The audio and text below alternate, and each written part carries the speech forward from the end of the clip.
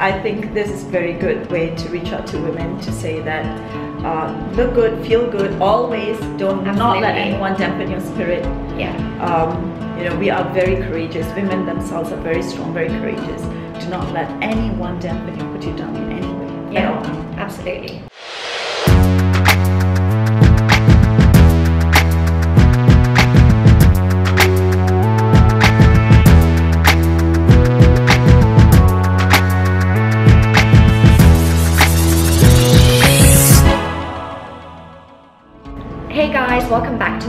So today I actually have Sundari here who is a um, domestic violence survivor. So as it's domestic um, violence awareness month, we thought we'll kind of educate you guys about some of the things people go through and some of the things Sundari went through herself. Um, and we're just going to do a very simple everyday makeover um, while I ask her some questions that you might have as well for her. Um, Sundari, Yes. tell me a little bit about, you know, I don't want to keep calling you a survivor because I'm, I'm, you know, extremely proud of you that you came out of this. But what do you do now? Like, because I know you're doing something amazing for WAO. Yes. So um, I took up um, a short training Mhm. um, course, I would say a workshop, um, and uh, it was crisis support officer. I wanted to do this back for, for WAO, Women's Aid Organization, because uh, I did not know lots of things, and um, WAO had um, indirectly taught me and made me think that what I'm going through as a survivor, at that time a victim, I would continue being in that, that same cycle. Mhm. So it was a poster that I saw, and I thought now that I'm out of it, I should. How long has it been since you've been out? Five years. Okay, wow. So um, what I do now is, besides being a CSO, Crisis Support Officer for WAO, I have started to uh, create awareness, educate the general public. So I go out there, I'm invited for talks. Uh, I advocate, I could say that, an ambassador, advocate for WAO. So what, what do you normally think is sort of like a sign um, where you know, okay, this could potentially go in that direction? I, I think um, when I was married or when I was in a relationship, what I did not know is what many uh, women do not know. It's not that they're naive, but we tend to take that as something that is normal. Uh, example, controlling behavior. I think that is the early warning sign. Mhm. Controlling behavior. Every time I go for a talk, every time, it's not easy. Because You're reminded of everything. I relive. Yeah. I relive those memories. I relive the, the memories that I don't want to even think about. Um, so coming out of his, coming out of the marriage is one thing, coming out of the abuse is one thing, but um, gaining control of your life is another thing. And, and moving, yes, exactly. And moving forward is something else.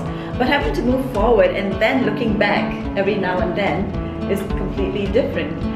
So, but I told this, I told this to myself. I said, um, I told this, if my tears crying again because I'm thinking about something I don't want to, it's going to put a smile on someone else's face. I'll do it. I'll cry a million tears to help another person to come out of it. But right now, what you're doing for me, and this is this is nice because this is the same face that was punched and slapped and was not allowed to use cosmetics or or anything on the face. I was not allowed to even use an eyeliner. So that's how that's, how, so it do you feel now that you're doing this makeover I- it's nice. Um, You're already looking great. it's nice, of course. It's nice. It's nice to feel wanted. It's nice to feel appreciated. Nice to feel loved. It's nice to feel. It's nice to even look good. To to do this for yourself and say, hey, you know what? I look good. Yeah. So it's nice that someone is teaching me and teaching others. You, know, you can look good. You can feel good. Yeah. And it's not wrong to feel good or to look good. And if someone is telling, don't feel good, uh, it's wrong to feel good, it's wrong to look good, then I think that no, come, no, no, no, just, you have to come out of that. I. I've been there. Yeah. And this does not make them happy. Definitely. Does not make the, the perpetrator happy, just wants to control. I have been struggling for so many years with abuse and uh, different sorts of abuse as well. I've tried to reach out for help. Everyone had told me um, the first question why does he hit you? Why are you beaten? As if I am supposed to be hit if I had done at all. So why is not even a question. And this came from family and friends. family, friends, relatives, everyone. Yeah. No one said no for whatever reason. No, you're not supposed to be touched the way that way. No, no one said that. Mhm. It was more of uh, why don't do it then. You know, if if you're using If the eyeliner, him or whatever, right? Don't don't do it. Yeah. So I always blamed myself. But deep down, I always knew But I did not know where to go or what to do because everyone else was saying, uh, correct yourself Yeah. or he would change in time. It's not going to be like this, or probably it's a work tension. Or think about the kids. Finding excuses yes. all the time. Yes. Think about the kids. Yeah. You know, they wouldn't have a father. So what I did was to take matters in my own hands, and I thought, okay, the one way I can get out of this uh, abuse is through education, Mhm. Trying to progress, and getting a job because that's the first thing I wanted to do to, to get a job. I'm not allowed To to be, work. oh, okay. So to be independent. To be independent, yes, to have a career, yes, yes, to have an income. Mhm. And uh, with a lot of struggle, again with a lot of beatings, I furthered my studies at the university. Then there was this one day I was just walking uh, along to get into the car, my friend's car, and uh, I saw the poster in one of the glasses of the university, and I looked at it and it showed the cycle of violence. It caught my eye. Okay. I stopped. I looked at it harder. And I just stared at it for a while because I thought, oh my gosh, is, is that what I'm going through? My God, because there are other people out there who go through the same for a poster to be pasted on, on a glass. I'm sure that others who have gone through the same so they can find. So I'm not imagining things. So I'm not uh, uh, like what people say he's going to change. That's not going to happen because the cycle of violence says and so clear that there's honeymoon phase where he's so nice. I always call him the hero Shah Rukh Khan times. really.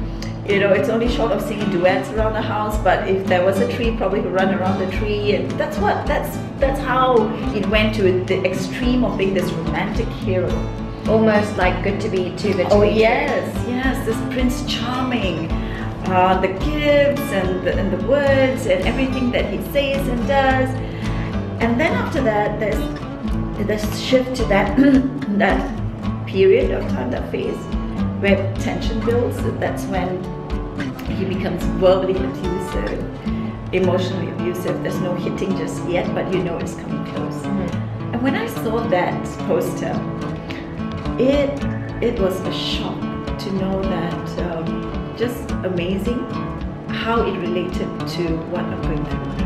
Yeah. And then I knew I was not alone. I mean, would does that mean domestic violence means it always ends up with physical abuse? Yes. Okay. I think um, abuse or domestic violence does not only um, only mean physical. It, it can range from being uh, verbally abusive. I Yeah. think that's that's very painful to body shame you. How um, I should be um, grateful to him that he had married me.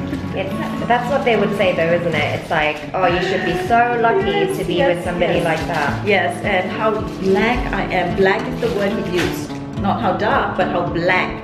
I used to be called Blackie all the time uh, because of my appearance, my color.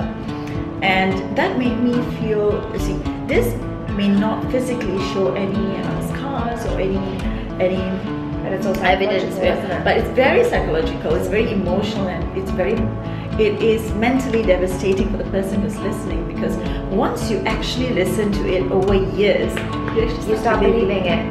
You Yeah. start believing I am ugly.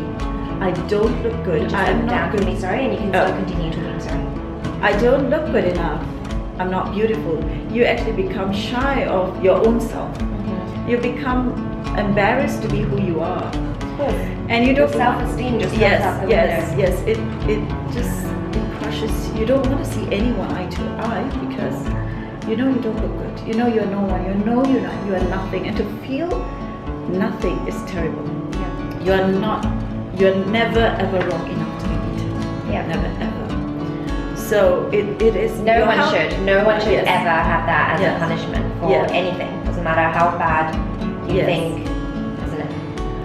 And uh, just just a call away. That is it. Yeah.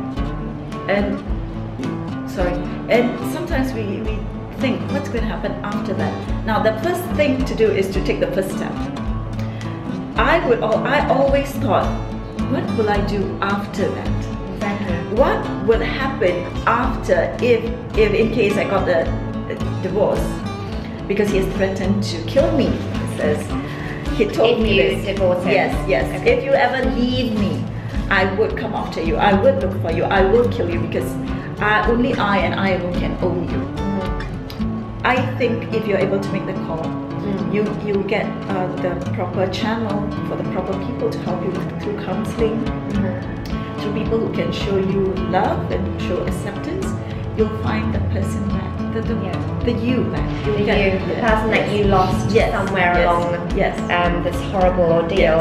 Um, yeah, no, thank you, thank you so much for this story. And we, you know, in that in that time, we did a little mini makeover as well.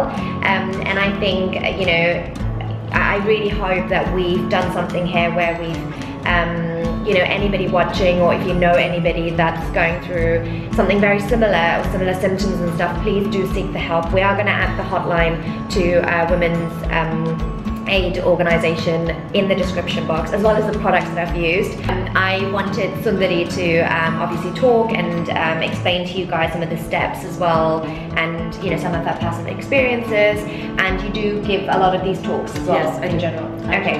Through WAO. Yeah. Yes. Okay, awesome. So yeah, we'll put all the information in the description box as well. Thank you. Thank you guys for watching and um, yeah, please reach out to these guys. Um, they, they definitely have more experience than I do. I'm just very good at makeup. Thank you again. Bye. Bye.